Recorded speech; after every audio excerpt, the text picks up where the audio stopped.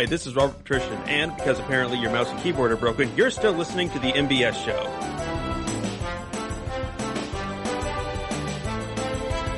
Hello and welcome to the MBS show, episode 85. I am your host, Norman Sanzo. Joining me today is Daniel Anthony. Hello, hello, Norman. Hey, Dan. Uh, uh, I don't know what how to say. you? It's been a rough start. Oh yes, definitely has. Yeah. The reason why I sound bad right now because I don't have my normal recording device. It, I, I don't know where it goes. But anyway, um, how are you, Dan? Improvisation is a really awesome thing. So you know, like if you listen to lines, I've been I did podcasts for my Android tablet before. So yep, go deal with Wow. it. True indeed, true indeed. Oh, um, re- you recently had an announcement, right? Oh yes, I did. Care to share with the class? Oh yes, of course. Yep, uh, we've just announced Singapore's first My Little Pony convention, which will be held from 21st to 22nd June 2014. You can check it out at canterlotuniversity.com. Yes, it's called Canterlot University. It'll be happening in Singapore from the 21st to the 22nd of June 2014. Everything you need and want to know is on our website. So once again, that's canterlotuniversity.com. Awesome. I might enroll soon. Yay. So also joining us is James Quark, or James Pork. Hello there, Norman. How's it going? Fine, thank you. So, um, the name change. Uh, why? Ah, it's Halloween. Uh, by the way, I have a very weird feeling of deja vu. I think we have already done this. I don't know. S- Ah, probably nothing. Yeah, it could be, it could be. I, I wish we had deleted tracks or something, but hey, the show must go on, as they say. Well, So, maybe they changed anyway, something in the Matrix. That's why I feel deja vu. Uh, weird. True, anyway, true. So anyway, moving on to our next person on the call, it's Sketchy Sounds from EFN. Hello, hello. So, Sketchy, how are you? I'm doing quite well, thank you. I've been uh, working on some audio earlier on for Ask Britannia. I've been working on a Nightmare Night promotion. Which I have been doing in the voice of Sweating and Miller von Nocturne, one of the bad ponies that we have on the Tumblr. Oh, thank Oh. you, darling. And that's been fun. That's going to be going up later tonight, actually. We'll be putting that up. We're basically we're what we're doing is we're running a little uh, competition for our followers to submit ideas for costumes to put our characters into, and the best ones we'll make use of. There might even be some prizes involved. We don't know yet, but uh, we're considering it. Awesome, awesome.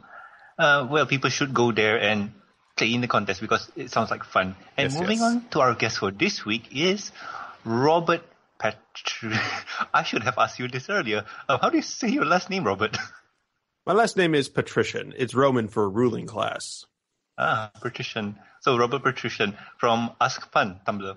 Yes, So I am the you doing, moderator of Ask Pun. So how are you doing, man? Oh, I'm doing quite well. We're finishing up uh, the new system for the writing collaboration, where we'll be able to once again recruit writers to the project. We're also developing a series of tutorial videos and uh, orientation videos and such, which have a very good return on investment for improving the project. Ah, sounds like a business, but I think we'll leave that for later. So anyway, let's move on to the next topic, and the next topic is housekeeping. So, well, uh, if I remember right, we have a special guest to read this for us, if I am right. Isn't that right, GLaDOS? I believe you are correct. So, a little announcement for you all. On November 2nd, the MBS show will be participating in Extra Life 2013, a 25 hours gaming marathon to raise money for Sick Kids Hospital Toronto. How nice of them. What you can expect during that 25 hours gaming marathon is to be part of the live stream with Norman Sanzo. You can even join him in a game and possibly see him lose his temper, something you don't have much of. You can interact with guests during the live stream and get your questions answered if you have any, although I doubt it. The guests that will be joining us are friends of the show, James Corck, Sketchy Sounds from Everfree Network, and the talented Lionheart cartoon from Duo Cartoonist, friends you probably would never have. We would appreciate it if you could donate to this good cause. Together, we can help children and improve their experience in the hospital. Alright, let's get back to testing. Well, thank you, GLaDOS. Oh my. Um, Friends Aye. that you will never have. That is very mean. Well, it is GLaDOS GLaDOS. isn't very isn't a very nice pony to start with. She's not a pony to begin with. Uh, tr- true that, true that. Very but true. anyway, please do. Anyway, please do help us with this because it's for the kids, as they say, and links to the donation can be found in the show notes. So, Robert, I hope you can join us for that stream because the more the merrier, as they say. Yeah, we'll see what happens. Awesome. And let's move on to the next topic. And the next topic is news time. And in today's news time, Halo 4 Facebook post pictures of Best Pony. uh, that's so nice. Rarity. True- Wait, No, that's it appears Rarity. to be that it was Fluttershy on this occasion, my good sir. That's not Best Pony. You lie to me. Well, you do realise she did win that poll a little while back. That was That poll was hub. completely rigged. They pulled out Richard Nixon on it. They sent people to investigate. No, I that was a crook. completely. Okay, okay, okay. Anyway, um, uh, the Halo 4 Facebook page recently posted a picture of Fluttershy done by No Agony using their Forge map editor. What's so special about it? Well, it was only done by using assets from the game and nothing else. Take a look and judge it for yourself. Links can be found in the show notes. Taking a look at it, actually, um, I've just clicked to take a look at it. That is pretty impressive, I have to say. Yeah, it's using all the game's engine, like, um, assets really, um, like the guns. Yeah, they've just laid it out like a mosaic. That's really impressive. People If have you told, if you didn't tell me this was made in Halo, I would think it's probably like cake icing. People have done crazy things with uh, the uh, Halo's Forge uh, uh, mod. I think I saw someone make uh, a, a, a, a Van Gogh picture with it. Like Nice. the yeah, like I think it was like Starry Night over Paris or something like that. I don't quite remember that one, but they they made one of his paintings with uh, the Halo 4 engine, and I was like, wow, Sweet. you guys have so much free time on your hands. You all you all know Minecraft, right? And what people do there. It's pixel Uh-huh. art in 3D.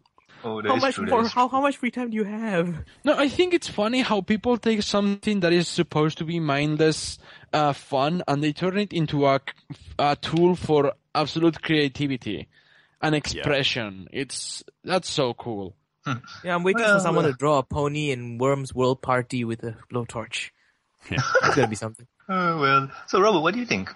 Well, as someone who has played a bit of Minecraft, I think that any expression of creativity is good. That they're able, they they saw this set of tools and they went in a direction that people wasn't and that people weren't anticipating, is uh, very good on them. It's always good to see people taking something on the internet and creating more from it. So the internet is a great place of collaboration where people are able to take tools and do things with them that were simply unexpected. That is true. That is true. And I am guessing content creator. I'm guessing the people who created this, they're really happy with what other other people can do with it because, well, like you said, it's amazing and it was not meant for this, but people made it their own. Mm-hmm. So anyway, let's move on to the next news topic. And Dan, why don't you take this one? Okay, so Toys R Us now Pardon? exclusively announced the My Little Pony Chinese New Year brushable. It's not even Chinese New Year yet, but it looks like Toys R Us are at it again with another exclusive. This time around, it's going to be a Chinese New Year Pinkie Pie package in a Chinese New Year theme theme box. Links can be found in the show notes. She looks absolutely adorable with that hair and that Cheongsam looking dress. She does. What do y'all think about it? Well, I think it's awesome that they are acknowledging that kind of like uh, uh, celebration, and the design looks really cute, despite it being the the um the you know the mold, the same model that we have seen other Pinkie Pies look. But I like the the attention to detail on the box, and personally, I approve of uh, this design. Uh, uh, this I want one. Looking I at her, um, that looks to be the fashion style Pinkie Pie mold they've got there because I've got one here and she's in the exact same pose. Um, but I really love what they've done. Um, it's quite creative, and uh, the design on the dress is especially Intricate. interesting. It's quite intricate. Yeah, I really like what they've done there. That's very pretty. The only thing I can see that I was just about to mention that I said the I was going to say the only thing I can see there, which looks like it might be a bit of a nightmare for some people, is the fact that she is glittery, and glittery ponies have this uh, tendency to shed their glitter on everything. So if you do buy yes. one, watch out for Yeah. that. You you I- will end up with sparkly fingers. I testify for that. I have the entire collection of the pony, the sparkly pony blind bags. You cannot touch those without turning your hand into uh, into Edward Cullen's hand from Twilight. It's so sparkly, it's ridiculous. Now I feel so I feel sorry for married bronies because they go get one of these ponies and they're like, "Oh, it's so nice," and they rub their face on it from like, "Oh, yay, I have a pony," and then they get home and the wife's like, "You went to a strip club. You're covered in glitter."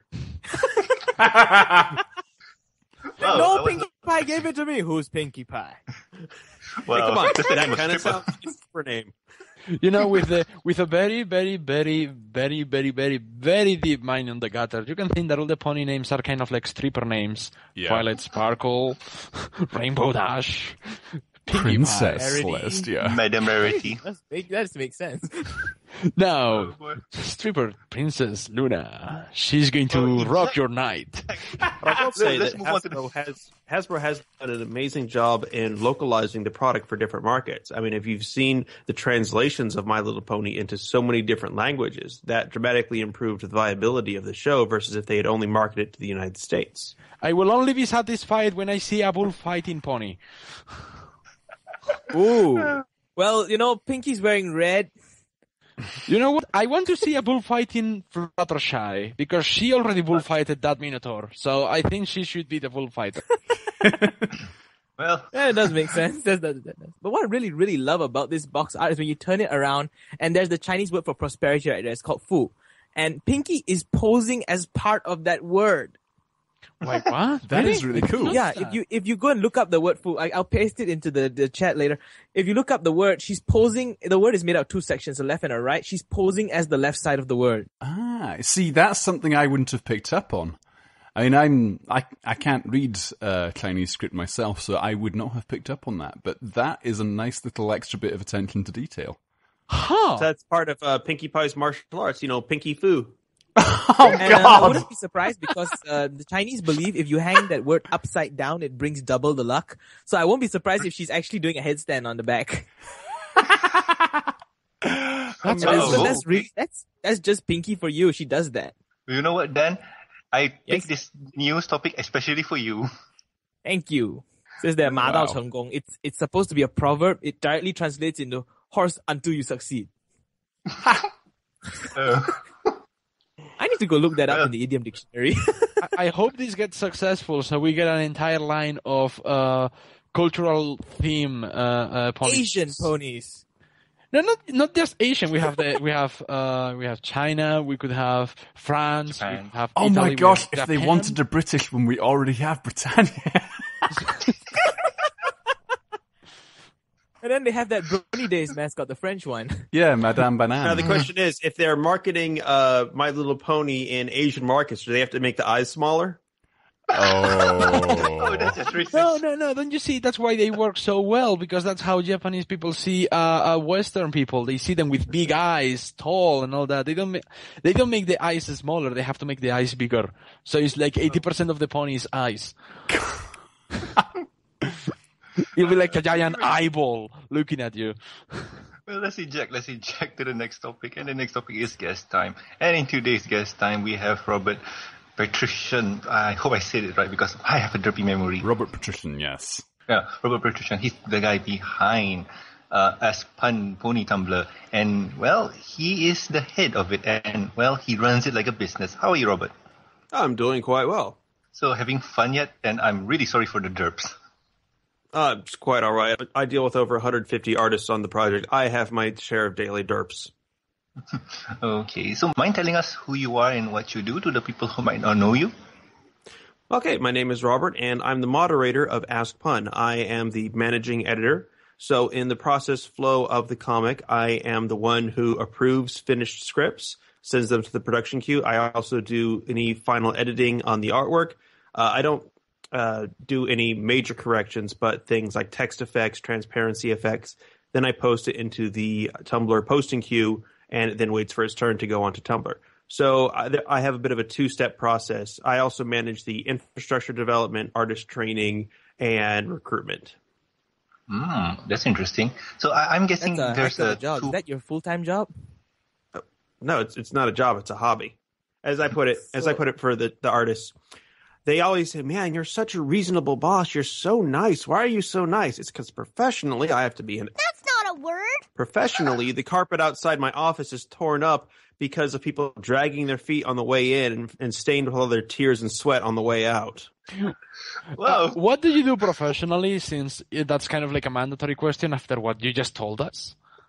I'm a project manager. I handle projects where it hasn't been done before. So, for example, if a company says, okay, we need to build a new factory uh, in a place that we've never built a factory before. For example, we need to build this facility on a glacier. Well, we've never done that before, so we need a project manager to handle all the things that are going to come up that have never come up before. So, for example, if a company builds garages every, you know, every single day, it's more of an operations issue. While if they need to go build a special order one, it's a project one. Hmm, that's interesting. So, like I was saying before, I can see there's a two-part question: one in the front and one in the back. Like what goes in front that we all can see, and what goes behind the scene that we don't know. So the obvious it- question is, um, how did you start? How did it all started? Like, how did the idea came up? Well, the originally uh, when I was first introduced to Tumblr ponies, I was looking at them and I found a lot of the smaller ones before I found a lot of the bigger ones. And I was looking, I'm like, oh, this is a great comic. I'm going to be following this because I've always been a bit more interested in the Brony community and creativity than the show itself. And I'd be watching them and I'd see a comic like, hey, we just celebrated 50 followers, hooray. And they post a link. I'm like, wait, you have 67 comics and 50 followers? That doesn't feel right. More people need to know about this. And I saw more and more comics and I'm like, okay, more people need to know about these, not just the big ones. And so I thought with my abilities, mm-hmm. I could create a comic that was specifically intended to get popular and then use that popularity to do what gives most Tumblrs more followers crossovers.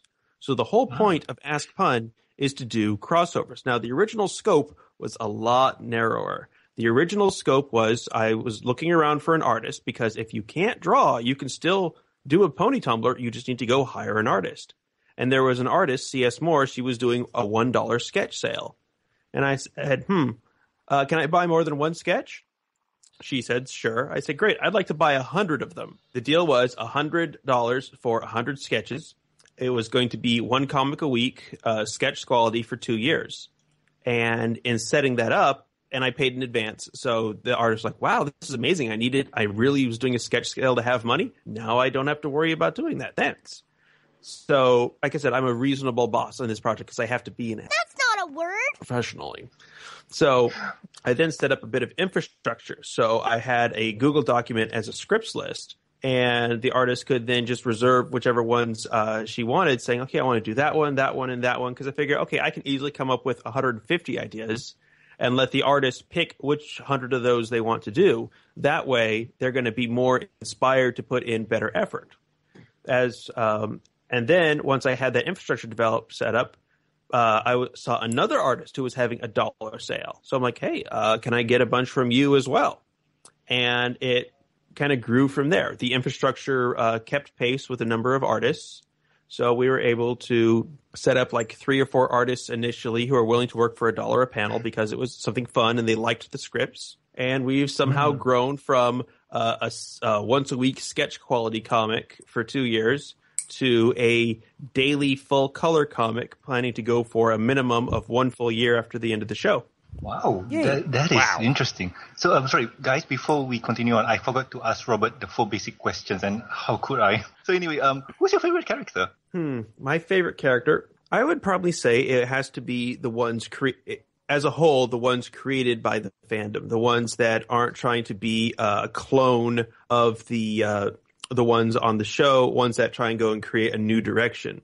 So uh, I would say that the uh, three the three characters that inspired me to start Ask Pun were uh, Ask Stitches. That comic doesn't update much anymore, but we've managed to send it a lot of followers. Ask Bright Eyes, which is still going follower, and Ask Windswept, which has since become the mod Tumblr for uh, Ask. That that artist has since gone on to do Ask Stories from the Front. Mm. Ah, okay. That will be Severus. Ah, the, the, the Yes. artist of stories from the front is Severus. Right. His original Okay, his so- the, his original comic was about a sea pony, and that was one of the ones that inspired me to start Ask Pun. Mm-hmm. so basically, um, is these three characters that you are your favorite? Well, I would well, I would say that they are the ones that inspired me the most. Uh, If any from the ask me show which that is you my- can say? From the show, hmm. From the show, I would have to say Rarity, as she's a successful business pony. You look at you look at uh, Applejack, the other one actually running a business, and they're always having horrible financial problems. Well, why is that? Let's see. They have a line for cider going all the way back to town. They run out of cider before they finish before they run out of line, and they don't increase their price. Gee, I wonder why they're always in financial troubles. Well, they could have um, government backing from the princess. okay, what about your favorite episode then? Because I'm going to guess it's a rarity episode. See, I would say favorite episode would just be that the the first two episodes because what got me into uh, Ask Pun, I mean, sorry, not Ask Pun, but actual My Little Pony. It wasn't forums and notices and all that. It was I was on YouTube and I wanted to hear a certain song, uh, Battlefield by Blind Guardian. So I typed that in, and what came up was a pony music video of the song. And I'm like, ah, whatever, the audio will be good. And I clicked it, and it primarily consists of footage from the first two episodes. It made the show look a lot more dark and action oriented than it is, but it got me to watch the first episode. And we all know, in being a brony, I saw the first episode and then, and you don't really need to finish the sentence. Yeah. it just goes from there. Okay, so well, funny enough, the second question, uh, no, the third question is, how did you become a fan of the show? And I- I'm guessing you already told us, but if you have, um, if you'd like to elaborate on it. Well, uh, originally I went and looked into some My Little Pony chat rooms, uh, looked at some forums. Uh, what, although what originally got me uh, into the community was the Tumblr community, seeing the the Tumblr ponies and how people are having to able have these ponies interact in a way that was still amusing to the audience. It wasn't just, oh look, I'm role playing as Super Sparkles, which is like my double Alicorn Time, Time Lord Saiyan. And also Pokemon Master, don't forget about that. okay. Oh See, yes, having we- an we Alicorn re- OC ain't that bad, right? Well, okay. Recently, we actually published an OC where we we tried to make the worst OC we could possibly imagine, and we Uh-huh. succeeded. Yes, if you scroll back a bit on Oh, Ask gosh. Pun, uh, the character is named Running Gag. She's a uh, hmm a marathon racer who suffers from bulimia. What? I can I can totally imagine this character running and there's this running in the 90s playing in the background. You just have to see the picture because it's really funny. And I'm Oh, following. it's, it's a full Fun. reference. And I just realized the horrible pun in the name. Yeah, there. I- oh god. I love it. It's it's it's it's my favorite kind of joke. It's a time bomb joke. So you you think you get it, Oh. and then you pause, and then like a minute later, you're like, wait a minute. Oh, damn it. Yeah, it's it's a double. Oh, that's awful. See, it works. you are terrible people for creating this. Well, to to be fair, the cutie mark though. They might This be is- terrible, but you're still laughing. I don't know who's No, worse. I need to. I'm trying to understand the cutie mark. it's a bucket. It's a bucket, of course. Yeah, but mm-hmm. why? Because what, Oh. what else is she going to? because because she's bulimic. Uh, oh, Do you know what bulimics oh, do? Oh, okay, okay, now. There you go. Oh my reactions. That's that's. Oh. Hence running gag. you know, you should have left Dan in the dark and let him think about it. Uh, my favorite is when uh, someone asks, "Oh, so what? So why is Pun's cutie mark a censor bar?" And if they're in a chat, I like t- pointing them to the first comic, and then we all get to hear their head hit the desk. I still remember reading that one. I was like, okay, never mind. oh, boys. So, um, what do your family and friends think about your love for the show? Well, uh, as I spin it off, uh, the the it's it's a fun hobby for me. I'm managing a lot of people. It's a great resume builder too because I've been working on things for the project that are helping me develop new skills. It's a lot of social interaction. I've made a lot of my online friends through the project. So I don't focus on, oh, oh my gosh, I love watching a little girl's cartoon show.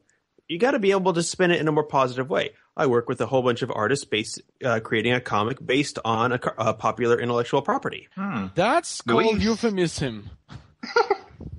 you no, should- but still, No, um, no, no, I mean, it's, if you- it's your, sou- it's your Okay, South but- Pole. But have you ever went to someone and said, uh, and if they ask you, what do you do? Didn't you just give them a direct answer and say, I watch My Little Pony? Uh, th- th- have you ever done that? Uh, I'm in management. I don't give direct answers. No, but still, Robert, I, I think that answer is really well done because, well, instead of saying I watch a show for little girls, you said I manage a group of people who are who enjoy a show for little girls. No, we are making a comic based on a popular intellectual property. Oh, even better. I must remember that. Ooh, ooh, what is it? Lord of the Rings? Because you got to bear in mind that when most people ask you that question, they don't really care. They're just being polite.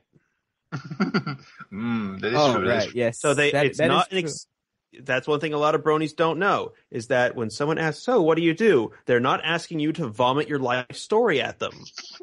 They're looking for a one to two word question. You're supposed to return the question, and then the conversation moves on. Well, that's because if that's in case you want to avoid talking about what you do, but if you just want to give a short, concise answer and you don't care about what people think what you do, You, you, give a just simply short, say, concise, yeah, give a short, concise answer, and then if they ask further details, okay, but you need to check: are they just being polite, or are they genuinely interested? Personally, I don't. You know what? They can be either polite or or genuinely interested. I am expert to give short answers to people I don't know. Mm, Oh, it's because you're from still, Spain.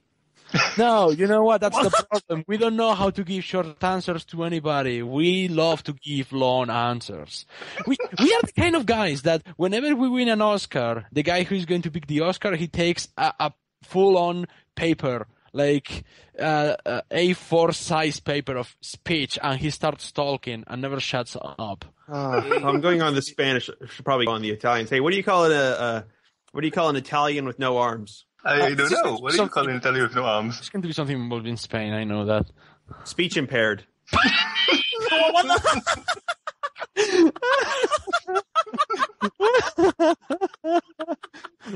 Oh my gosh. I'm Wow. giving, I'm giving that one. Robert, you should also act as a comedian because you kill. Okay, here's the thing. People are always telling me, "Oh man, you should be a comedian. You should be a comedian." But here's the problem: being a comedian is a horrible career. You either make it super big, or you're working nightclub to nightclub, traveling all over the country, making pretty much the same as what you'd make at Burger King. That is Well, true. have you considered it as probably an Mhm. extension to your hobby, like perhaps going to Brony conventions and doing Brony stand-up comedy? Oh no, I I'm staying away from the brony conventions, and I'll tell you why. It's what I call the main six phenomenon. When you get five bronies together, they generally act as group would be expected to act, where you've got a bunch of people in the same demographic who share an interest and thus probably share other interests, like you know what other shows do they like, stuff like that, and they generally have a nice civil conversation. When you get six or more bronies together on a on a fandom based around the internet, they you tend to get the people who forget that just because the group is from the internet doesn't mean you can act like it's the internet. You start getting the folks who are always waving their phone around, "Hey guys, check out this video." The guys who you say hello and they vomit their original character roleplay at you. The people who are very big about, "Oh, isn't my costume amazing? Isn't my costume amazing?" And you see like seven other the exact same costume because they picked it up at a booth 5 feet away from you. Point is is that bronies in large groups tend to forget social eloquence. Um, for that matter, actually, have you met any other Bronies in real life? You know what? Oh, yes. Uh, okay, but regarding that, that's not just bronies, that's every type of nerds. I mean, I've seen that happen at anime conventions, I see that happen at comic conventions. People, when dragged into a place where there are no inhibitions, they, they don't care about what they think, they lose all means of social uh, norms. If anything, Well, yes. However, Bronies is still, at the time I made that decision, was still a very new fandom, and it had not yet developed the filters to handle that kind of thing. If you go look at other fandoms, like you said, the anime fandom, I go to, I've gone to anime conventions, and they, the, you still still get those individuals. The social norms in that situation have developed ways to encourage those individuals to shut up. maybe in your place, to- not in mine. I can't tell you that. I don't go to anime conventions anymore after what happened the last time. Oh boy, it was dirty and ugly. Yeah, and smelly, very smelly. True. You true. could say it was a real Spain in the ass. Oh! Now you're now oh, you're for, now you're forcing it. okay, guys, uh, I need to ask Robert here. Okay, where do you come up with your materials? Because okay, I I don't remember who said this, but pun is the worst form of comedy out there, and you made it into an art style. Well, a pun is the lowest form of comedy if you didn't think of it first. Well, Well, um, I, I have a question regarding uh, your your selection of the questions for the blog because it's obvious that the, the blog is Ask Pun, so it's obviously run and inspired by the questions you receive. Um, like, how many questions did you get on a not daily but on a weekly basis, uh, more or less? And what kind of mm, criteria do you follow to say, "Oh, I'm going to pick these questions. I'm not going to pick these questions"? Well, we get about 20 questions a week.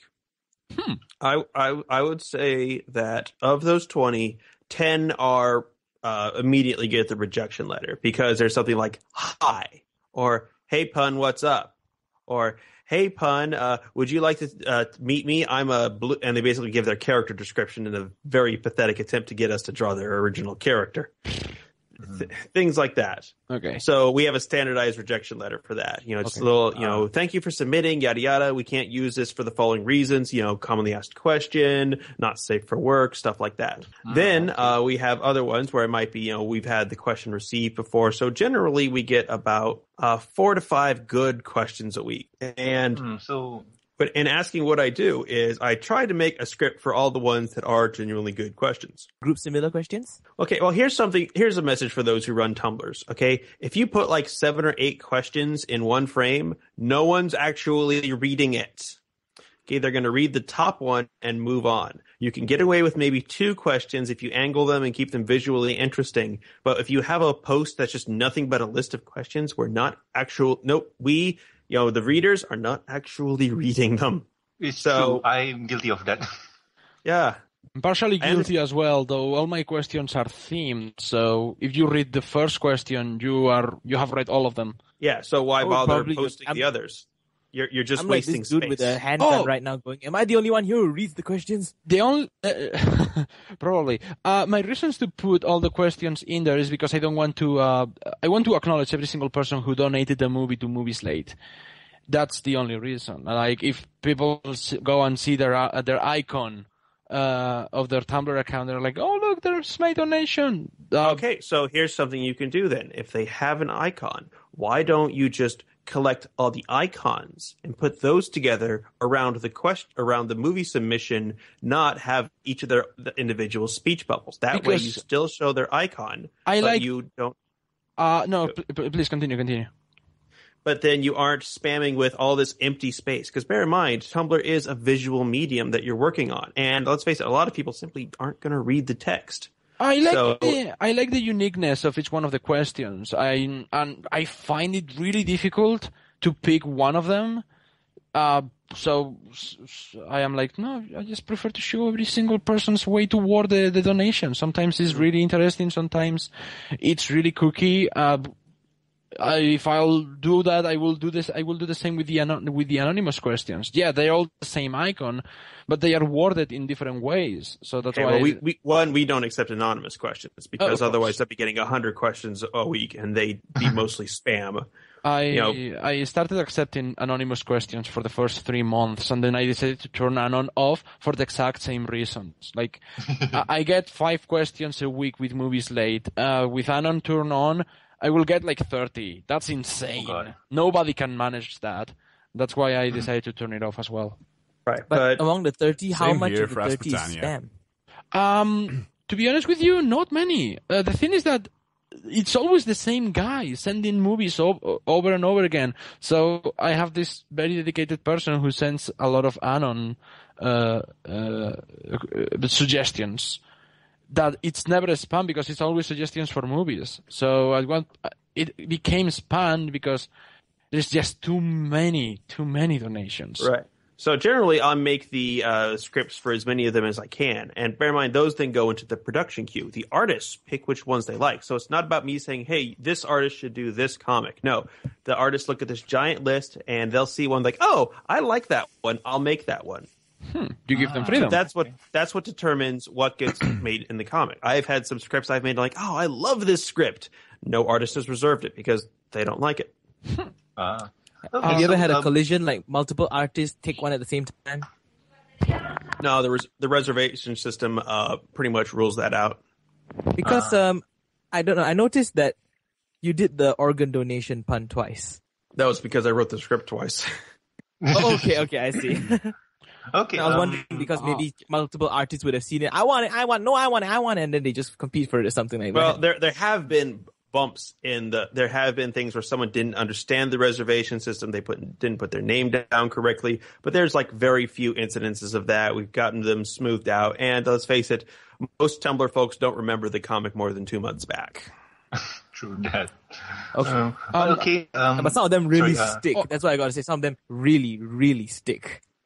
I want to make a. Uh, I wanted to make another question, if that's okay, Norman. Go ahead. okay, please do. Yeah, uh, regarding Pun's design, is that uh, it's a very simple design with just uh, like three colors that you have the uh, the red, the brown, and the black of her cutie mark. Her cutie mark is just a black line, uh, but at the same time, it's also very iconic in that you can put that in a silhouette and you can recognize that's Pun, uh, or you can put her colors in there and you go, hey, that's Pun. So. Uh, who came up with that design and uh, when uh, how many designs did you have to go through until you decided to go with that one Well, there was actually only one design. I said to uh, the artist, "Okay, uh, the cutie mark is just going to be a single black line." Uh, I didn't even say if it was going to be horizontal or vertical. I just said a single black line, and how how you should draw the pony. You'll be drawing this pony a lot. Just draw, design the pony in a way that's going to be easy for you to draw. Because I I did not have a specific something in mind for here's how I want the character to look. I'm creating the jokes, and I'm going to trust in the art- artist's vision for how they create it. and you told me that the, the cutie mark is not a sensor bar which is what i first thought like it's a black line sensor bar I, that's that's where my mind goes i see a black line i immediately relate it to a sensor bar so what is it You don't know? You need to go and read the very first I have comic, not. You know what? I I I have been following Pun for like uh, a year, but I didn't manage to catch up with the first ones. Okay, I, I will do the honors then. I will find the very first comic and link you it, and then we'll all get to hear Actually, head. better yet, I will tag. I will link him the uh, her cutie mark origin story. But while, while you do that, let me ask you a question. Earlier in the interview, you said that you have about 150 artists working for you. Yes. So how do you gather them and how do you keep them in check? Well, fortunately, the system is uh, set up so that if an artist like isn't anything, producing anything, it doesn't cost me anything. Uh, how it's set up is that the artists produce uh, however much they want. They have no deadlines, and as they have no deadlines, uh, you know, it, it does limit like the ability to do collaboration because you know if you have three people collaborating on a comic and two of them two of them work on it and then one of them is like oh i'll do it later well if there's no deadlines i can't get it to work okay uh, james here's the link we're all going to hear james No, I head just, I the just, I that was me Go laughing. for it, James. Go No, for it. I already checked Okay. it. Well, okay, I haven't. So let me see. One line.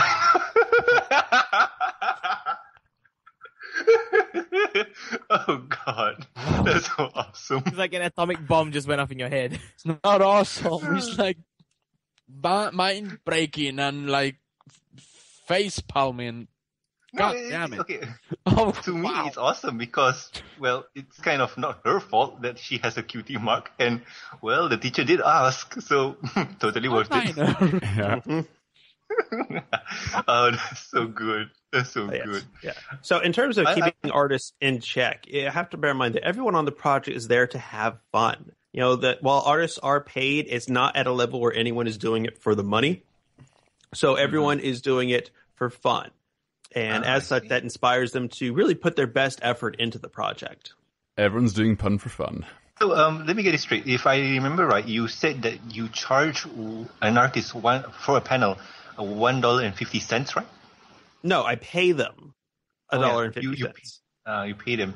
Yeah, So it would be fun, matter how big right? the It's like, okay, you draw this and you, you have to pay for it.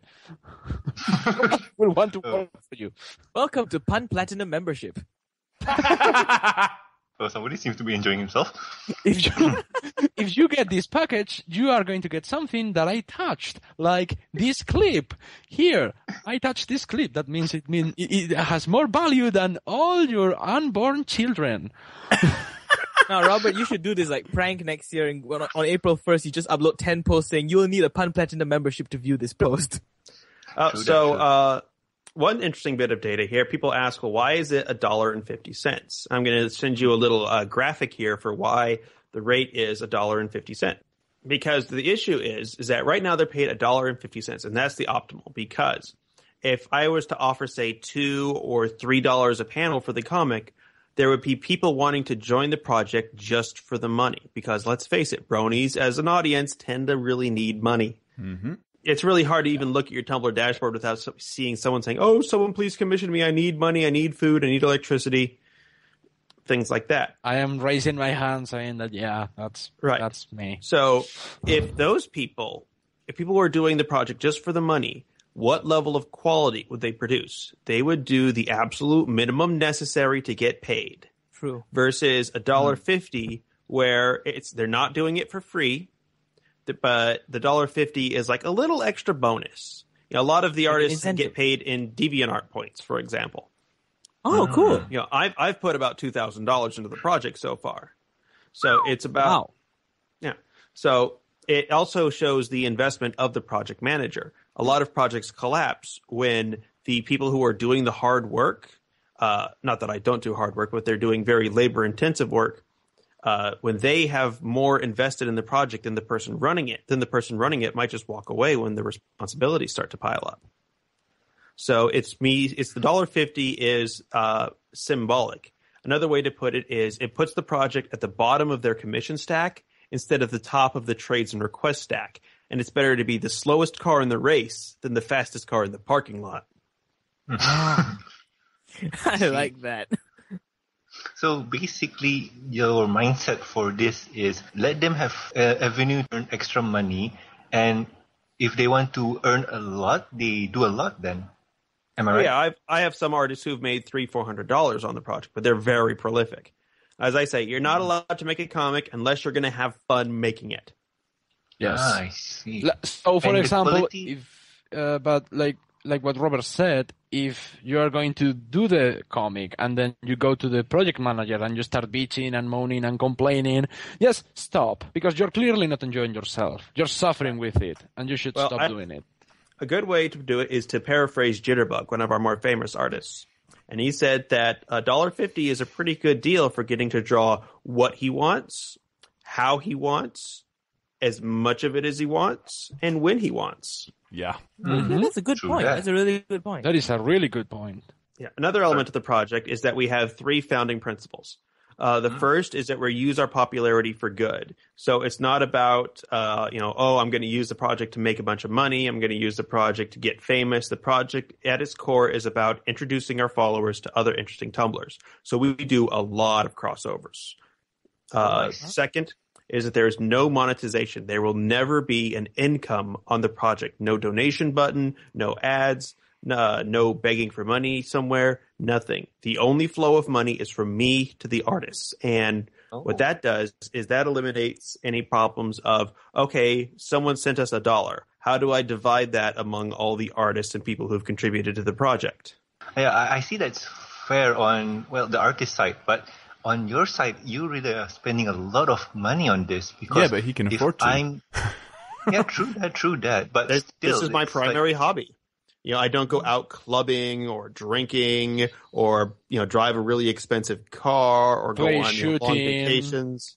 Yeah, when something is your hobby, it's something that you're willing to pour a lot of time and money into because you enjoy it. It's it's not Yeah. something that you look on as a as a burden, I suppose, as a financial burden. It's something that you're like, you know, I love doing this, so I'm going to put some money into doing this because it's it's you know, I've you enjoy. it.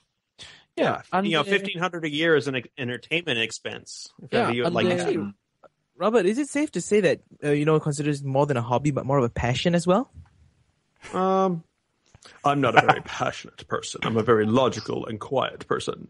But Yeah, no, you know, I, uh, I, I can completely understand where Robert is coming from because Is I am the kind of I, I'm I am the kind of guy who also enjoys things by taking them seriously. It's clear that yes, this is his hobby. I'm pretty sure people are wondering, oh, if it's his hobby, why is he taking it so seriously? Well, some people enjoy taking things seriously. They love doing that, and I can totally see where Robert is coming from because I come from the same place. I like taking things seriously and approach them that way, like in a very organized manner. And you know what? hobbies could be more expensive and this is from what i know this is not terribly expensive like it's like uh, you say a dollar fifty per drawing and you are helping getting people out there. You are promoting them. You are helping helping them out every time. Every time Pun has a comic uh, featuring Movie Slate, I get a hundred new followers. Wow. So Wow. it works. It totally works. I mean, this is a very good thing he's doing. So not only he's enjoying himself, but he's helping a lot of people to poke their heads out into this uh, place that is the Tumblrverse. internet. Yeah, into the Tumblrverse that is dominated by so many popular other Tumblr uh, blogs. So this is a big help. you know, I thought that uh, since a lot of people say I'm doing it because I love it, I do it because I, I really really love it. I want to know whether you actually share that kind of drive inside you. I'm because you you really love doing these kind of things, helping others, and also expressing yourself in this way. Well, I will. I'll be honest. The primary thing I enjoy from the project is that I get to be a nice boss. I love it mm. when all the project members like, "Oh man, working for Robert is fantastic. He's so reasonable. He goes out of his way to make sure that we're having fun with the project. It's great." Because I'm, no one's going to be saying about that me about that about me professionally. Yeah, it ha- you have to compensate being a That's not a word. in real life with being a nice guy on the internet. That that that's Right. Well, because I handle I the kind of people that other managers simply can't handle. The kind of people who are, well, under management we call it theory X, people who don't really want to work, so you have to compel them to work. You know what? If you were into other fandoms, you'll have to still be a. That's not a word. I have the I have the feeling that this uh this yeah this fandom has the the, the That's not a word. but you know what? We attract a very a lot of very good, very nice people, and I think that kind of wraps onto you as well. I think that's also about just that this uh, this fandom is very artistic based. There are lots of artists in this fandom, Yep. compared to a lot of other fandoms where you have people who couldn't put pencil to paper to save their life. Mm, that is true. That is true. The anime fandom, as for example, the anime fandom is more merchandise based than it is art based. Very true. That is true. And part of the when you say hobby, I'm one who is also guilty on that because I do buy a lot of trading cards, and it's true. I spend all for a year. I spend about a thousand bucks to get the cards that I need, and I can see the similarities in what you were saying. Uh, Well, this is also my primary social network at this point. I've met a lot of my friends online through this project. So when you gather artists, how do you get them? Like, do they come to you? Do you seek them out? Like in James' example, how do you get him? Uh, I don't remember. I think James came to us begging and pleading, please let me be a part of something greater than myself. I am a worthless individual. Please give my life meaning. Uh, actually, there is a. I don't really remember. No, wait. I think I kind of remember. Uh, He says he doesn't remember what that's code for. He's blocked the memory out. no, no, no. I, uh, that is the part that I remember actually. Um, what I'm trying to remember is that I think there was uh, there was uh, a script that had Movie Slate in it. So uh, you guys published it, and all of a sudden I started getting people coming onto my blog, and I was like, "What the hell is going on here?"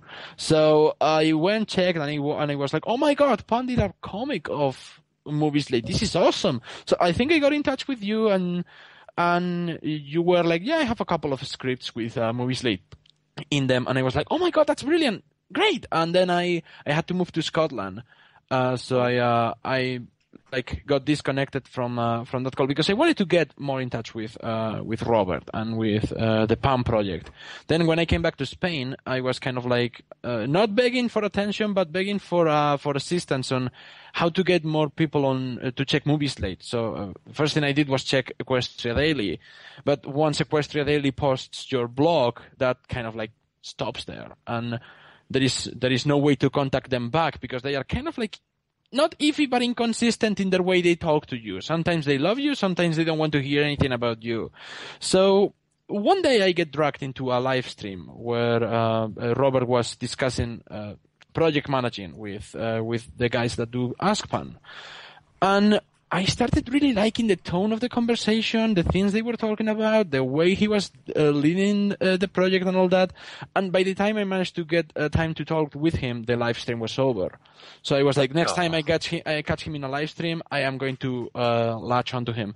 So next live stream, it happens, and lo and behold, he sees my name on the on the chat, and he's like, James, coming on the call, and then call, and then uh, I I went at him on the call in in the live stream saying, man, I want to be part of the project. You I manage this very professionally.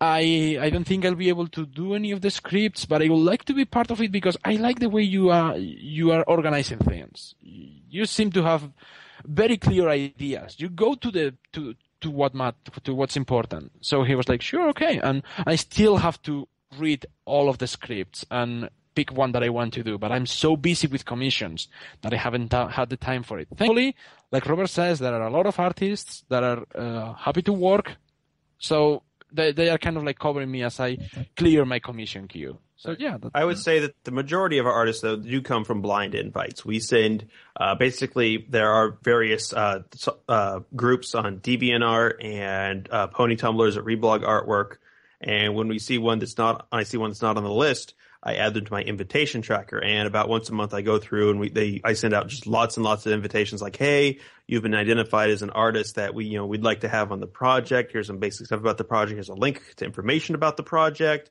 Here's a video about the project. Uh, let me know if you're interested. That's And we actually get a fairly high acceptance rate. almost like all of uh, my interactions, I came in, in by surprise. Continue, Norman. Sorry. Uh, so, do you have any rejections because they don't have the time to do it, or like they, Oh, of the course. Uh, I'd say about uh, two thirds say no, but about one third say yeah. Amazingly, a high number of people say yes.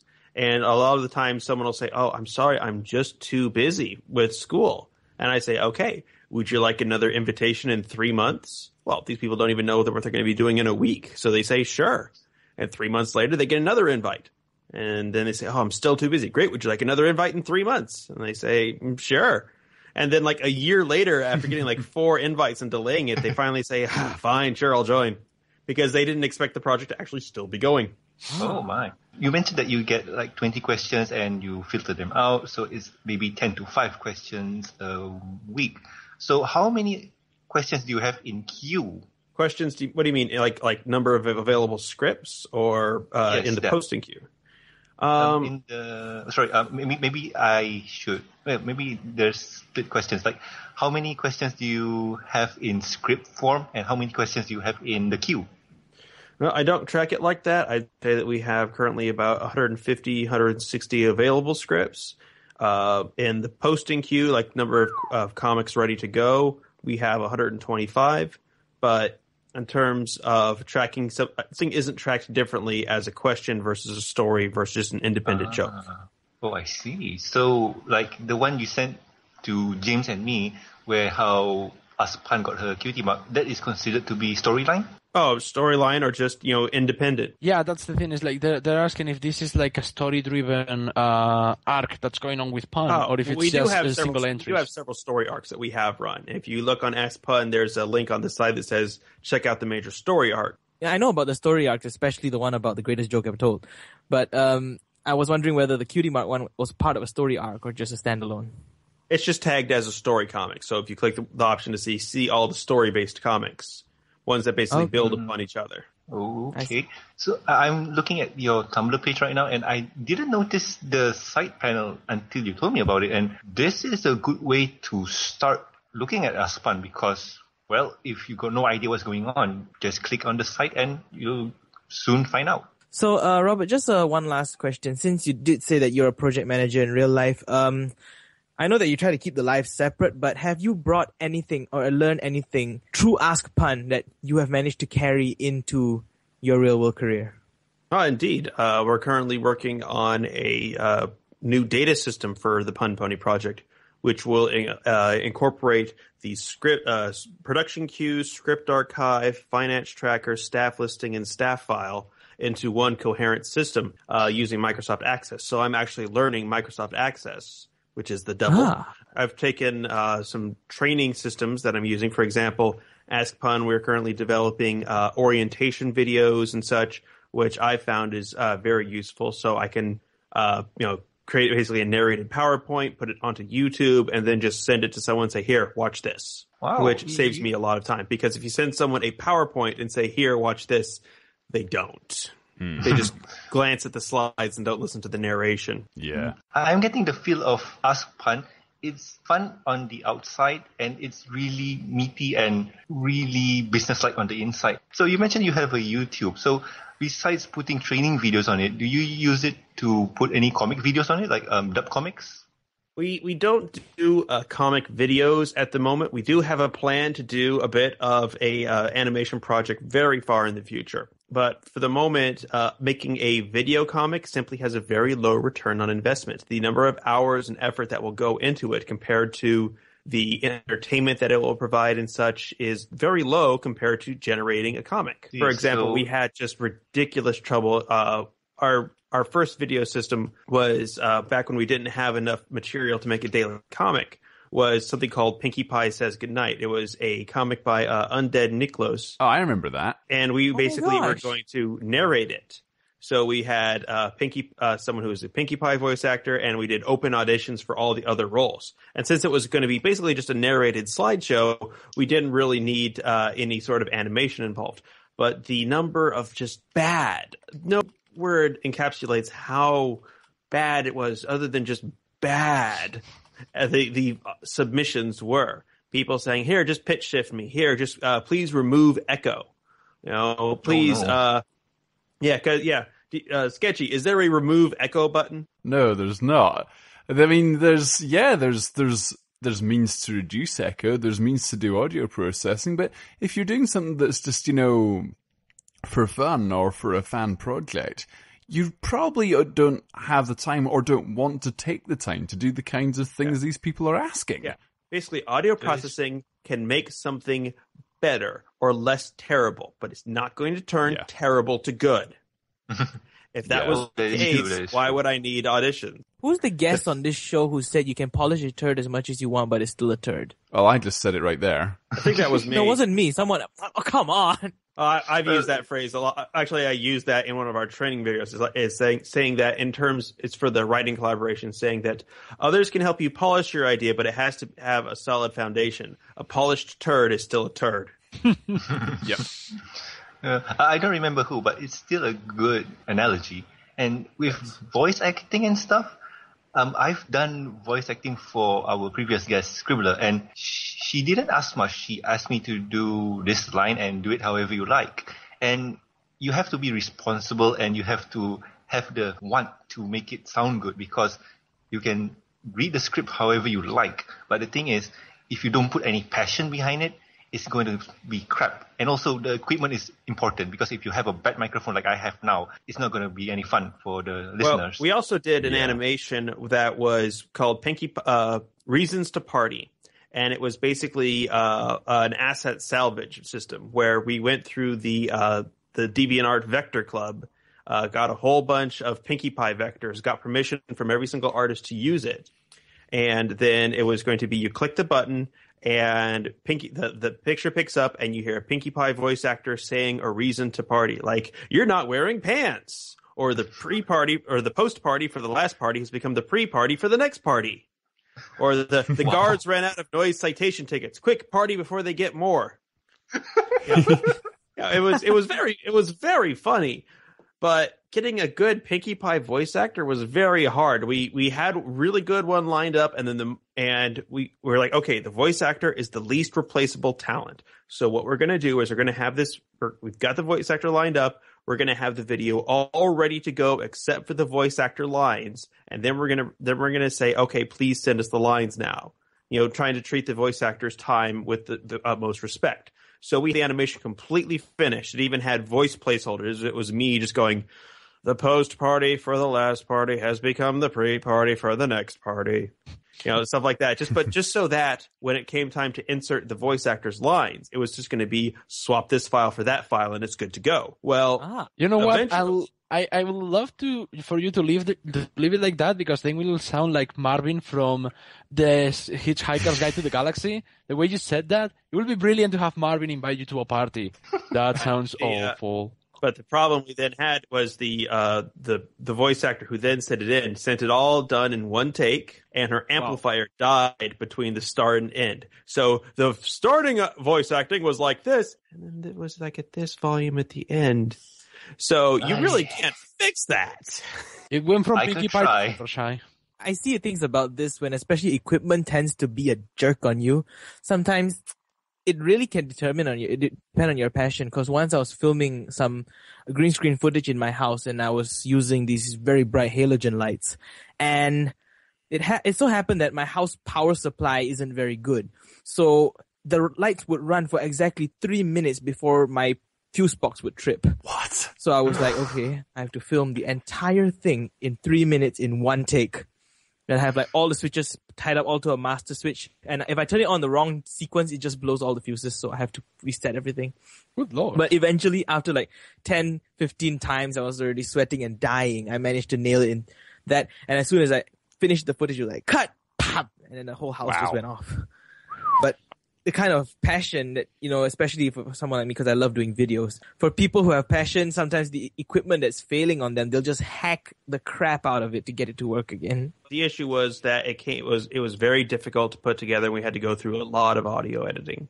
So we do have one animation planned for the future, but it's uh, something I think it's very interesting. Have you ever you've seen how things that are retro are popular now, right? Yeah. Like, oh, Oh, yeah, old true. school graphics, that's popular. So we're going to do an animation very retro. We're going to do a pony animation in the style of the 1960s cartoon Cargo Clutch. I need to Google search I'm this. old enough to wow, I have that, but I'll never figure- heard of that show before. We're all showing our age now. we have all never heard of that. Now I want to though. It sounds like a, Ah, my best guess from I- the cover is like it's a racing show. no, no. Um, Uh, it- I, it's a really old show. I've seen this before, but I can't put my finger on it. Uh, the animation is somewhat nightmare inducing because it was made very much on a budget. So in order to make it, what they did was they would have a still panel of animation and they would film someone's mouth saying the lines and then overlap that onto the still panel. So you have this animated character Oh, and then the mouth is just moving as a video. It Oh, fairly Yes. nightmare inducing. Yeah, yeah. If you, if, for those of you who may not know about that, if you have watched the movie Pulp, Pulp Fiction, the chapter that starts with uh, Bruce Willis's story when he's a kid, he's watching an episode of that uh, cartoon. It has the same style of animation. It is that. I- it is that cheap. I've just watched it, and oh my god, Robert, you're right. It's nightmare inducing. It's a, it's a human So- mouth in a cartoon. So we're so picture that all we need is the voice actor and a uh, and the, the still panel. And a mouth. Yeah. And the mouth. And we've got a whole bunch of still panels, so we'll just you know narrate some of our old jokes. We just need you know a voice actor with a webcam, okay. And I'm trying to find the That's reasons to to party terrifying. animation for you. I didn't tag it properly, so it's a little hard to find in the archives. Well, I I can just imagine how nightmare inducing that can be. Like, oh god. But still, IMDb says it's six out of ten. no, but uh, while you look for that, I, I'm gonna try and think of other questions. So I'm noticing in some of your recent, sorry, uh, first thing, congratulations on getting nine thousand followers. That's really awesome. Uh, thank Definitely you. That was actually a very uh, old comic, and I'm like, hmm, we just hit 9,000. Wait a minute, haven't we done that joke before? I'm pretty sure we have. And so, as an option, I thought, yeah, okay, I just go back, grab that comic, uh, and uh, just redo redo the text, add a little uh, Tumblr effect, and it's good to go. Awesome. And before that, um, I'm looking at Ask Pun eating meat. So, any reason why Ask Pun is a meat eater? Well, uh, that will actually be explored later on, but basically, uh, on the story, pun is the seal on the killer joke, and that draws uh, ener- Oh. draws draws energy from three places. Her, her uh, draws uh, energy from puns, from her body, and her mind. So she has a Pinkie Pie like metabolism. Mm. Horses can eat meat. Horses have a digestive system where they can practically eat rocks. Okay. That explains I the rock know. farm. Yeah, po- ponies have a very pow- hor- equines have a very powerful digestive system. You know, cows are the only ones that have one that's e- uh, a bit better. Yeah, they have a very long intestinal tract. And there are uh, there are historical cases of horses that have survived on meat. Okay, think about this: the horses that were taken on the first Arctic explorations, they didn't exactly bring grain for those horses; that would have weighed too much. They fed the horses meat. Oh my. Oh, but still, but still, oh my. Fine. Well, so Robert, have you found the picture yet? Uh, I'm still trying to find it in the archive. It's going a little strange, but but I can also link that to you later. But basically, our animation is uh, Now we, we we do a limited amount of animation just because the return on investment for the animation was very low. It got like six, it got like sixty uh, notes compared to what a lot of other stuff gets. I think Do- it's a do you know generic re- uh, attitude of an internet user when they scroll, they see puns. It's like likes and short, snappy jokes. Scroll, scroll, scroll. Video, screw it. Scroll, scroll, scroll, scroll, Yes. scroll. Yeah, Tumblr does have a thirty second attention span, and that's being generous. Yes. Well, it's also about what kind of comics uh, get them to uh, actually click the like button. For example, Flufflepuff always gets a like. So things that are cute and very quickly, uh, e- or rather easily digested as humor, are they tend to provoke a okay, I'm going to click that, versus something where they had to think. They're like, oh, that was neat, and they keep scrolling, but they don't hit the like button. Uh-huh. so you can't really posts? use the like button uh, as too much of a. Uh, Measurement gauge. Definitely not in Tumblr. Mm. No, like buttons Because I- don't really work as a good gauge for anything. No, but still, you, you can tell because like running gag here, it only got 66 notes. We Right. all take, we, we all had a good laugh at it because um, the joke was kind of, well, mean, but still funny. And it But as of- Robert said, it was pretty much a time bomb joke. So basically, after they scroll probably 10 posts down the road, they're just going to burst out laughing for no reason. And I don't think they'll be bothered to go back up and press like. Yeah, but Right. still, it's kind of like the joke there. Like it's a time bomb joke, so people are well, they don't get it at first, but when they scroll down, or some people they want to understand, so they keep looking at it until they understand. But still, it's like like Robert said, it's a time bomb joke. Okay, That's so here's the animation. people- I found it. That's the thing when you have like over 600 comics in your archive, it starts getting really hard to find them. Oh my, that is hmm, well, that is interesting. So it, it was pretty simple to put together. It was, you know, because here's here's my advice: if you're if you're going into a new area in a project, like let's say you're normally a normal comic maker and you want to do some animation, start small, start simple, start in something that augments your existing competencies. So if you're like, okay, well, I'm able to draw great ponies, I think I'm going to make an animation like Double Rainboom. No, start small. Start. Can you do a five second animation that's just mouth movements? Can you do something that's just a walk cycle?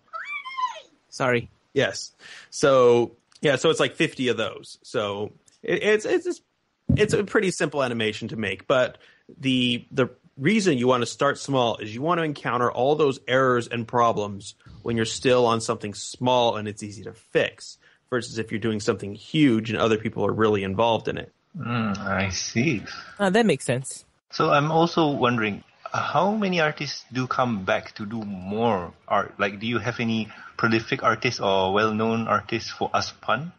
Oh yeah, we've got quite a few. Uh, I'd say our most prolific artists are Hewison and Anna Ritchie. Uh, those are our two most prolific. Uh, our most famous is probably like Nightmare Moon S, Jitterbug. Uh, Gashaboka is now who, who some, does some amazing artwork is on the project. I'm scrolling through here and I do see different names and different art styles and like you said, you want to promote them. So have you gotten anybody who is new to this and let's say this, they have only 15 or 50 subscribers or 50, 50 people following them and after doing this, have they come to you and say, wow, thanks man, like after this I got a spike in followers. I do get that, yes. The one problem we've had is the criteria narrowing for, you know, what do we cross over with?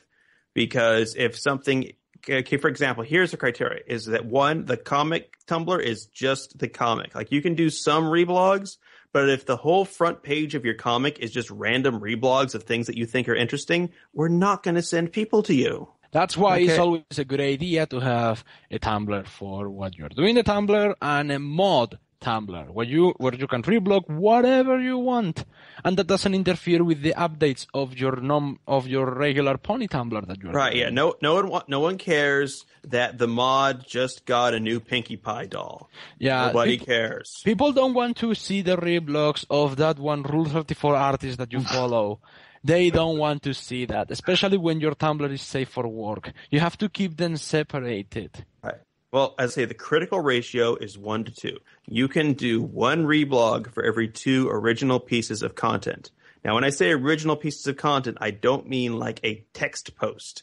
I mean like actual content that people, you know, stop and look at.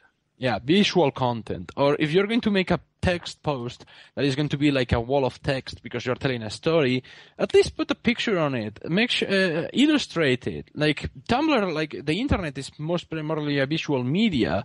If I want to read something, I'll buy the newspaper or get a book. Okay, another thing that I've seen cost Tumblr followers is that if you do like a 10 photo set and you stack them all vertically, so someone who is following you has to keep scrolling to get past all of them, that's trying to control that user's experience. They're not going to like that. So that will actually cost you followers if you think that you should be able to control their dashboard. So if you have, you know, like uh, 10 pictures to post, post them nicely and compactly so that if someone's interested, they will click and they will slideshow through it. Uh, another thing is with wall of text posts, there is an option where you can set where you can add a little option that says read more. So if someone's actually interested, they'll click read more. But otherwise they'll just get like one line on their dashboard. If you if someone has to scroll like three or four times to get past your wall of text, they're gonna unfollow you. Yes. Yeah. Really Even though they have a very short attention span, you have to treat the Tumblr followers with respect. That's true because people are following you and you are entertaining them and you need to respect your audience. And You if have- you don't respect your audience, they're not gonna like you.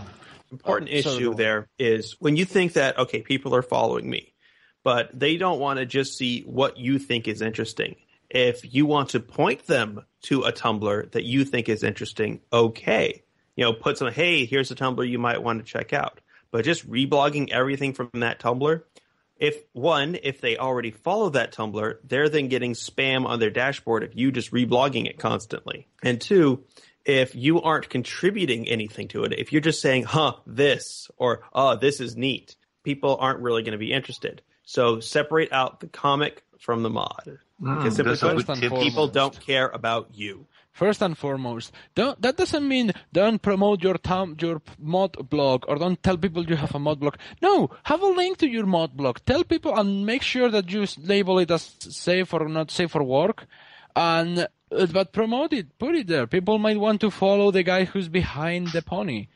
Not in that way. Um, God, that could be interpreted in so many wrong ways. But no, people will want to follow and want to see your mod blog. You don't have to force it down their throats. But also bear in mind, they when you have a mod blog, they want to see things you know related to the creation of the comic, or at least to the artist. But just random lol, check this out videos from the moderator, no one's going to follow that. Nah. Because bear in mind, oh, people have their own ways to get these videos. There are, are other aggregate sites. They don't. They aren't going to want to get their information just from you. That's true, and those are good tips. One more thing. Sorry? If, if you do a crossover with someone, don't reblog immediately because if someone is already following both the Tumblrs, what then happens? They see it ah. twice. That's annoying. Also, if someone does one of those comics where they do like 50 different Tumblr ponies with like a little headshot or a tiny little picture of them, and people like, oh, I'm going to reblog that, and they just reblog the entire thing, well, if someone's already following a lot of Tumblr ponies, what happens? They're then seeing that picture over and over and over. And bear in mind, if you annoy someone, it's very easy for them to unfollow you. But a lack of content or a small piece of content is not going to get that. So, for example, uh, Meriwether, which is a comic we plan to do a lot of crossovers with because it's a great comic, did one of those things where she drew a whole bunch of uh, ponies in a scene, including two of ours. Well, while it would be nice to reblog it, we know that people would see that a lot. You can reblog a picture like that as just a link. So when you go to the reblog option, say, okay, post this as a link and then write a description saying, oh, Meriwether of Ask Meriwether has, you know, drawn, has, you know, done the Small Bony Business Association that featured Marigold and Sunshine Morning. Go check it out. Very small, compact piece of content. People can still like it and it will still go towards the, uh, the that, that comic's note count, but it is not spamming their feed. Hmm, those are good tips because uh, I personally am not a Tumblr guy and I got no idea how to work Tumblr. And I, I think Jinx You has do learned Tumblr, a lot don't of you? this. Well, I do, but I what, what? I do Tumblr, but I got no idea how to do it well because I, yeah, yeah, I'm just it's just something I do out of fun, nothing more. Well, but Here's the number one piece of advice I give to new Tumblr artists who want to make a Tumblr comic. One, Identify why you're doing it. Are you doing it just to entertain others or are you doing it for personal fame? And both of these are fully acceptable reasons. Saying that you want to do it to get personal fame and famous, that's fine. Saying that you just want to do it to entertain others, that's fine. But be honest about it because you'll use different methods and techniques based upon that decision. You always want your decisions in the comic to be moving you towards that goal. You want to be famous, you would want to do like a lot of links to yourself, a lot of self-reference, you know, uh, focus a bit more on the moderator, but do it in a professional way. If you're willing to do it to entertain others, ask yourself, uh, would you be willing to do this if you never put your name on it? Ah, okay. Th- those are really good tips because I never thought about it that way. Another thing is, you know, what can you offer? Like, no one really wants to see your role play Tumblr where you're just doing a whole bunch of text posts. And when I say no one, I've seen not a significant number of people statistically. So you may have like a, you know, anonymous is sending you in tons and tons of questions and you think you're popular, but it's one guy who just wants some attention from anyone. And he's probably spamming lots of Tumblrs, not just yours. So do, you know, some sort of graphical representation. Uh, for example, No Pony Ask McLovin is a very text based. He doesn't do that much artwork. He does some, you know, copy paste kind of stuff. But when he answers questions, he at least has a little headshot of the character and he does a facial expression on it. So even a facial expression is enough to be an artwork. Hmm, okay, okay. I, I- I'm I'm seeing the spectrum of how to do stuff right now. Like I've always thought that when you do a Us Pony Tumblr, it's going to be like what James does with uh, Movie Slate and what you do with your Us Pun. And now that you mentioned a headshot of a pony answering the question, that can work too. Do you have any other OCs besides Pun or? The comic has five OCs. We have Ask Pun. We have Marigold, who is Pun's cousin, the business pony. We have Sunshine Oh, they're all Morning. they're all your OCs. Yes, those are all our, our, our Ah. OCs.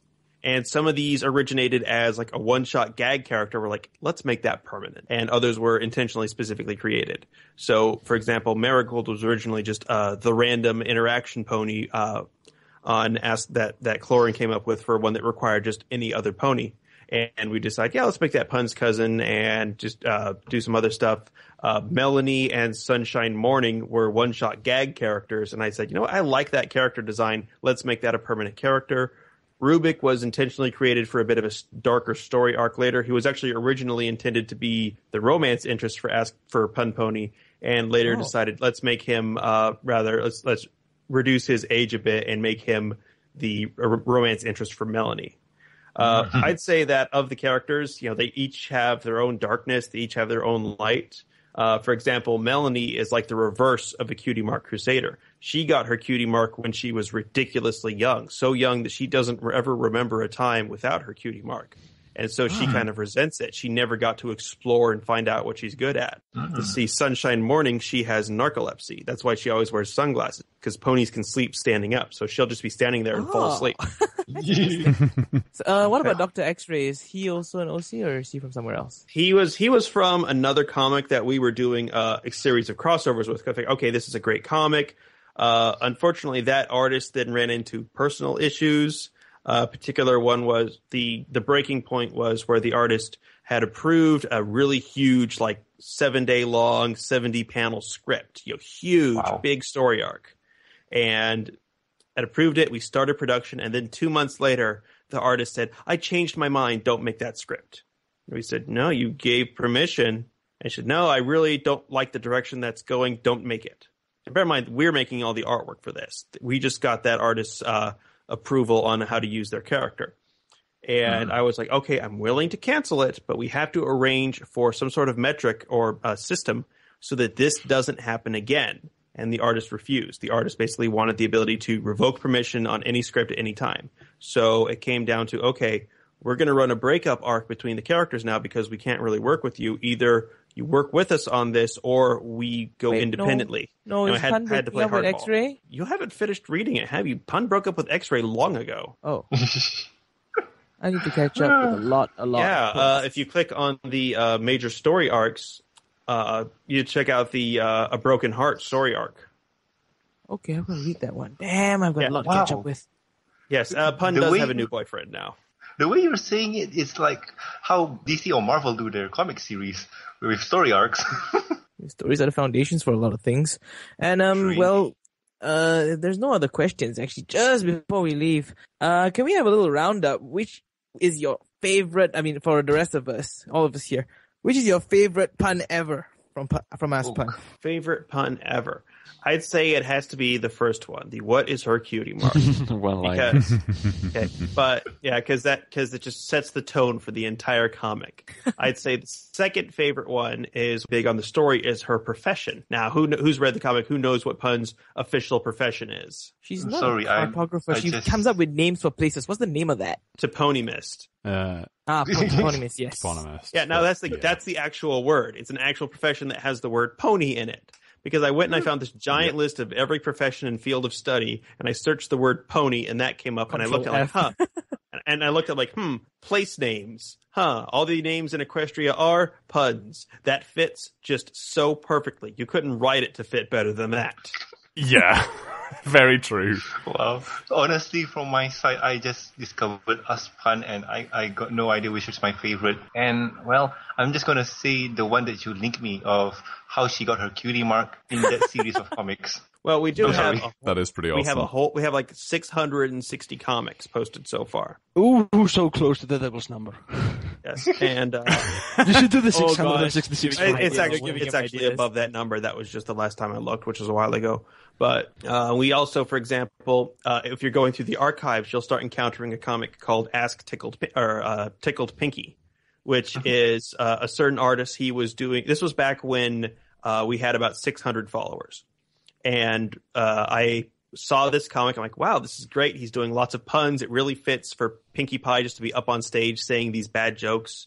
And I Oh, said, I tell you what, yeah, and I said, I tell you what, how about uh, you've got like 60 followers, we've got 600. How about you post your stuff on Ask Pun instead of your own little Tumblr? So you'll be second billing, but your audience will increase tenfold.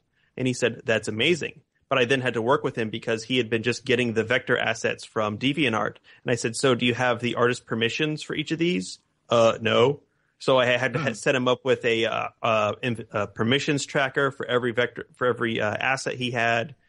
And he just, you know, sent the standard letter to all of them saying, I used this in a comic. I forgot to ask permission. May I have your permission? And 99% said yes. So that fixed it very quickly. But that made went him from being an art thief to a uh, a legitimate artist. And then, Oh, uh, yeah. is that the same series as the one where Cheerilee tells bad jokes? I don't know. I haven't seen that one. But so so you'll encounter some of that. Uh, back in the day, we actually did reblogs of some very popular artists like uh, Veggie55 and Toxic Mario onto Tumblr because they had no presence on Tumblr. So I said, you know, let's just try. I didn't really understand how Tumblr worked back then. So I'm like, okay, your comic hasn't been on Tumblr in any sort of official capacity. Uh, give us permission to publish it, and we'll do the effort of editing these, you know, DeviantArt style comics into individual panels for Tumblr and post and post them on this comic. Uh, eventually, once we had enough material that we were gen- really holding our own, went through and removed all that other stuff. So the comic has been through a lot of infrastructure changes over the past nearly two years. I, I wouldn't have imagined that. So you've been running this for two years now. Oh, Well, it- um, the project's the first comic published on February second, two thousand and twelve. ah, okay. That's an amazing. That's that's an amazing achievement. Congratulations. Mm-hmm. Well, I like to look at it as like we have more comics in our buffer than most Tumblr comics will ever have total. Wow. You know what? That- that's really an achievement. You know what? Then this is almost as long as our show. yeah. Um. So um. Just James and uh, Sketchy. Do you have your all-time favorite puns? The thing is, I've never read through Ask Puns, um, you know, archives. so I, I don't think I could give a qualified answer to that. Well, Uh, now we've got we've got a homework assignment for you then. I can uh, Yay. It says terrible things about me as a person, but the only pun comics that I've seen are the ones involving Movie Slate, because are the only ones that I have exposure to. Because I have, I don't have time for anything else. I'm so busy with commission work that I cannot sit down and say, okay, I sit down in front of the computer and the first thing I do is I switch on Photoshop, and I I don't check Tumblr for like until two hours later when I have finished the sketch and the inks of a commission, and that's that's when I am like, okay, well, oh, I didn't even open Firefox. So I go to Firefox, I check Tumblr, check messages, see if there is any reblog, and I I will read the the newest posts of uh, Ask Pan, that's for sure. But the ones that I really remember are the ones on Movie Slate because they are the ones that I have to read thoroughly and then reblog, make a proper in character comment for Movie Slate, and then uh, tag it, then make sure that it's on the final category and then post it on the blog. So those are the only ones that I remember. Uh, I really, you know what? I really like the the one where Movie Slate and Pan are coming out of the theater, and uh, Pan is like, you know, I should never judge a book by its movie.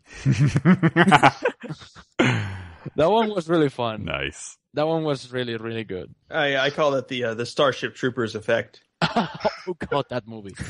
Oh, the I book still- was I great. The movie was, as I say, the book and the movie shared about as much as World War Z did. Yeah.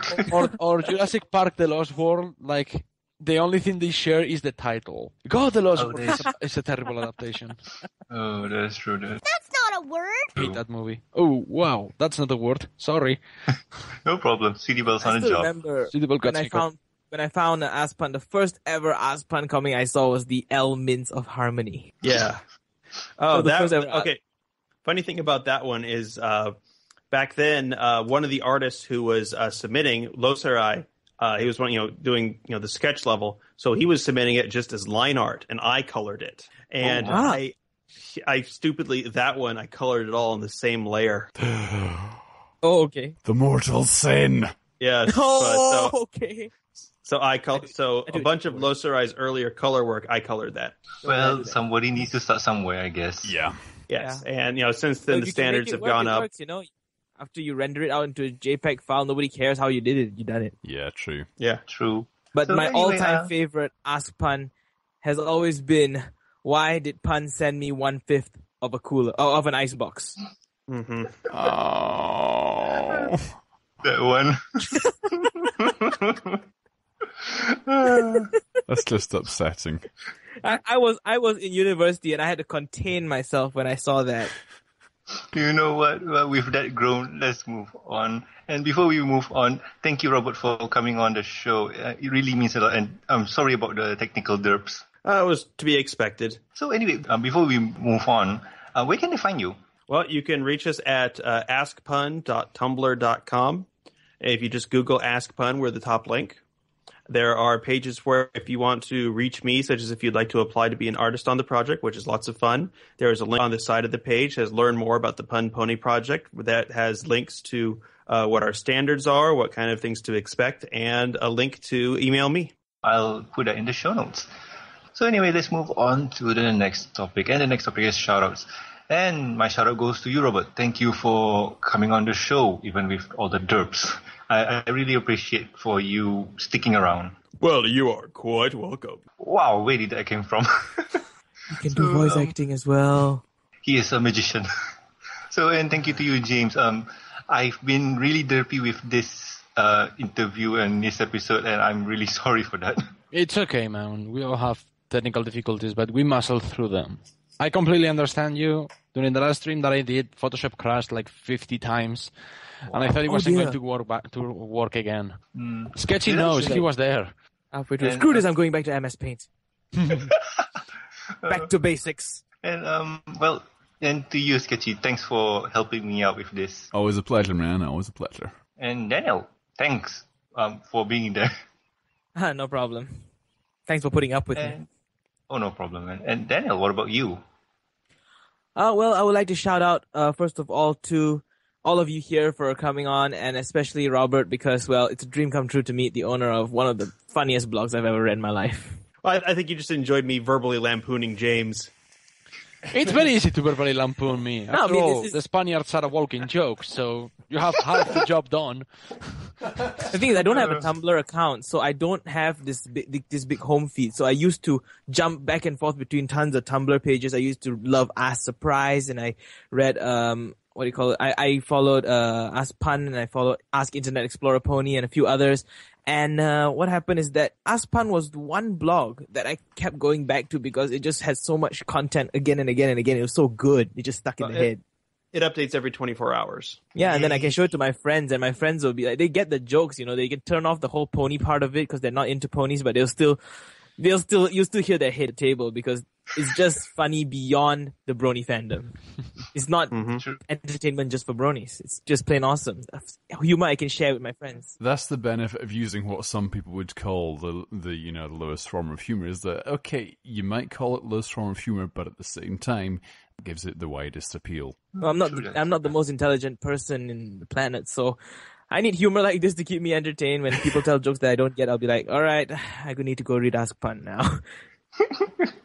it may be the lowest form of humor, but in order to cater to people who can't really laugh at high forms of humor, it's really an art. And I have to thank you for that. Well, you're quite welcome. And uh, one last shout out I have to give to is to the whole committee for Canterlot University. You guys did an amazing job, and the keynote was a blast. It was a pleasure working with you all. Mm, that's awesome. Uh, be sh- be sure to follow them, and it's going to be really interesting. And James, what about you? Uh, well, I want to give a shout out to Sketchy for being here with us. No, thank you, my good He's, sir. he's, he's an awesome guy, of course. And of course, give a shout out to Robert for being such a good sport and coping with our unprofessionality, which contrasts uh, uh, heavily with his professionality. That is true. And uh, finally, I want to give a shout out to every single person who chimed in and helped out with um, my charity stream last week, which was a huge success. And I wouldn't been able to do it without them. So I want to give a sh- uh, shout out to them. No problem, man. Mm-hmm. And you, Sketchy. Ah, I would just like to give a shout out to my friends that help out with the Ask Britannia Tumblr. Um, they're all fantastic people, so big thanks to them. Uh, and just a shout out to you guys as well for having me on again. It's uh, it's always a pleasure. Uh, that's pretty much No it. problem, no problem, Sketchy. You- You're awesome, and well, I dare say that you're a friend of the show. Thank you. It's okay, Sketchy. You're here because Cyril wasn't available. Oh, burn!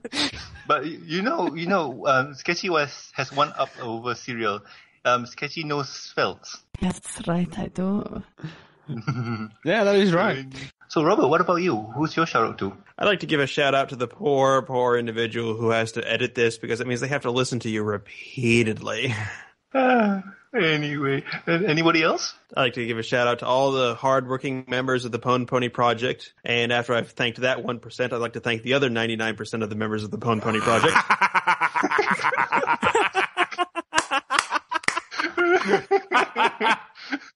I see what you One did Pony there. presents. Are you the one percent? Wow. Robert's when talking you- about me. Yay! When- When you're on a roll, you're on a roll.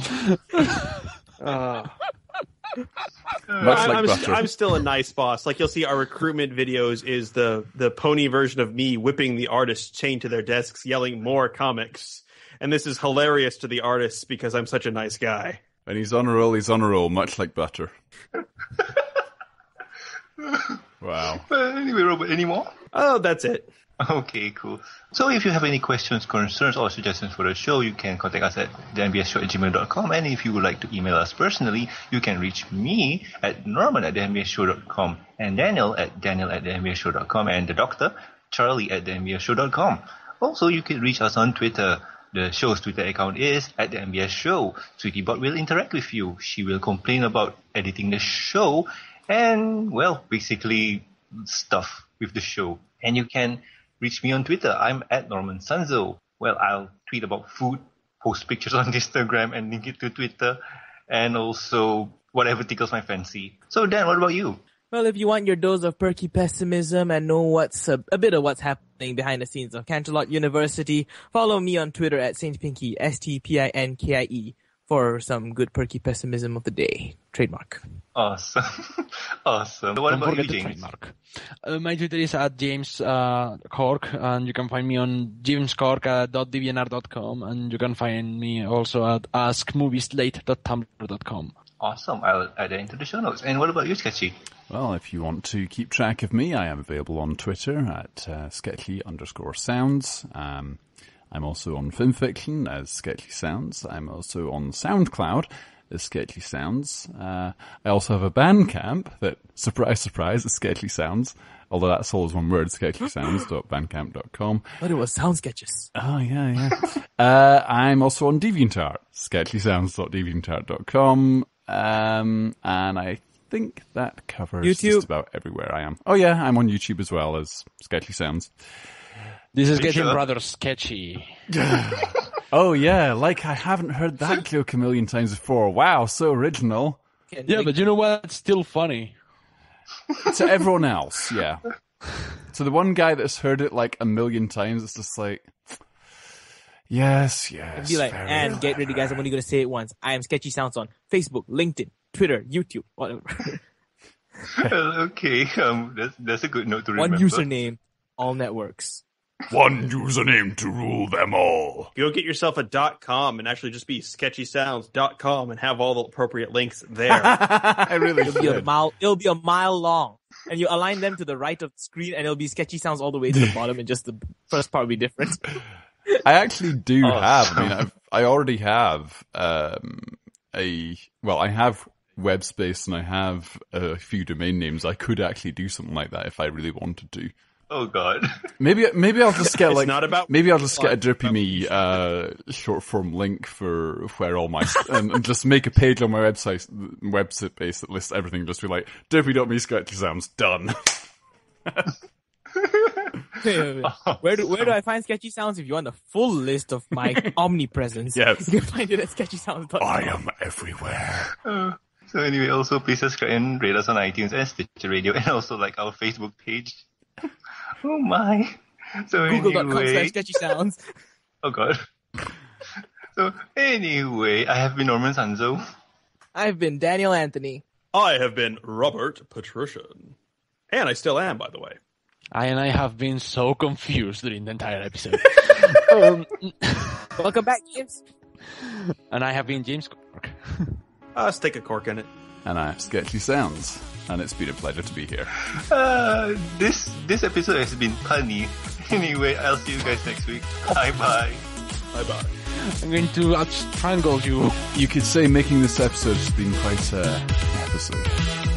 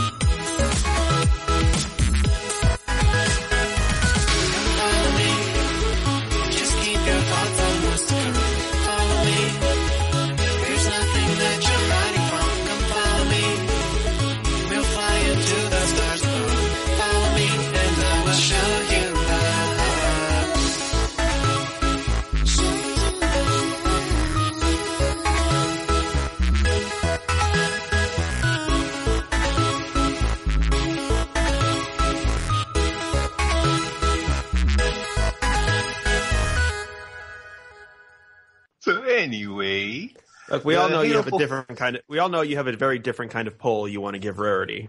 I want to give her my my South Pole, if you know what I mean. oh God, Peedley man, Peedley. Well, you have a North Pole? Yeah. I didn't know you were a unicorn. Oh, you, well, that, I'm, no, no, no, I'm not a unicorn. I'm a bike. No, he's so ugly. That's his nose. No, no, no, I literally have another horn. It's a condition. I cannot go out in the street because of it. People look at me weird. Oh, sure, yeah. Ah. Blame the blame the horn for why you can't go out in the street, not your crippling social anxiety. No, but I have that too. it's a combination Oh, of both. Oh, it's a double this whammy. is going to poor make a wonderful outtake. Okay, anyway. Put it in the show. Why do we need to make it an outtake? Leave me alone. I want to, to hide in the corner and just hiss at people that come close to me. Okay, There should be like a hide in the corner and cry counter on this show. Like, Well, the thing is that when you when you try and hiss at people, we can't tell if it's you're actually hissing or you're just being asthmatic.